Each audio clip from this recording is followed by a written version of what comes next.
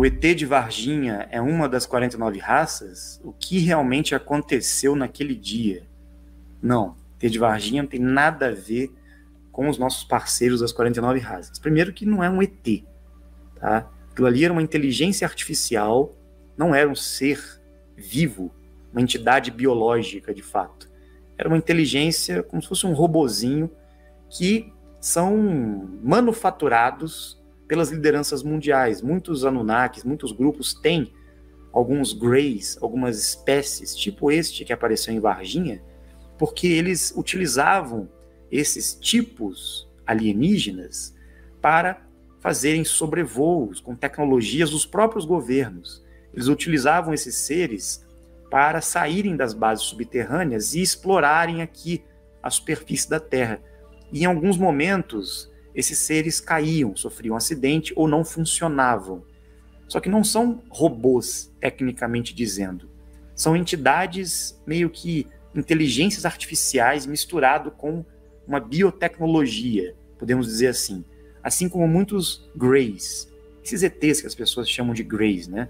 Também são entidades biológicas com inteligência artificial, não são humanas, não têm espírito, não tem alma, não tem consciência. São entidades movidas por inteligência artificial, né?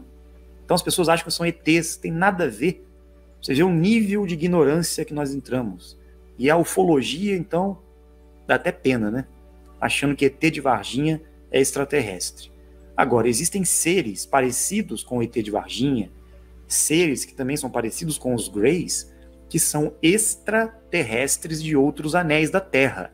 São seres aqui da Terra mesmo, em terceira dimensão, planetários, que não tem nada a ver com as 49 raças. 49 raças são seres extradimensionais, de dimensões superiores, de outras realidades, né?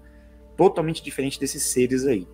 Os seres das 49 raças não vão cair com a nave aqui, não vão sofrer acidente, não vão passar por situações dessas, até porque eles têm uma tecnologia milhões de anos-luz superior destes seres, né?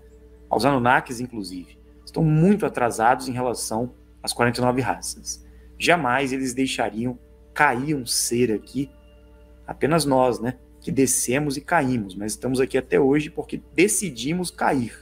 Mas eles não iam permitir um acidente, um ser dimensional ficar perdido aqui na Terra e acontecer o que aconteceu no caso do ET de Varginha, esses outros casos aí que dizem, né, ser acidentes com objetos voadores não identificados, como foi o caso Roswell, por exemplo, e outros, né? Existem muitos casos, mas esses seres eram planetários, eram extraterrestres da Terra, de outros anéis da Terra. Extra primeiro anel, na verdade, né? Nossos vizinhos de Terra que chegavam aqui exploravam a Terra. Isso acontecia. Agora, não tem nada a ver com seres dimensionais, os seres universais, os seres que são de outras dimensões da realidade.